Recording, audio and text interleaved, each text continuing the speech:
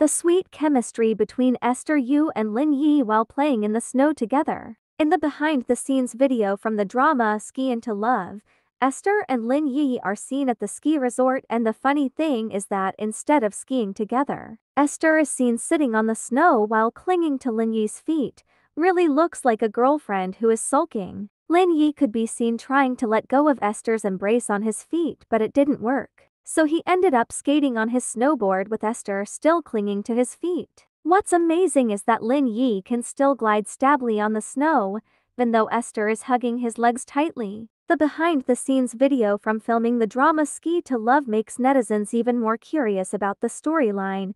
It will definitely be funny and romantic to see the two of them.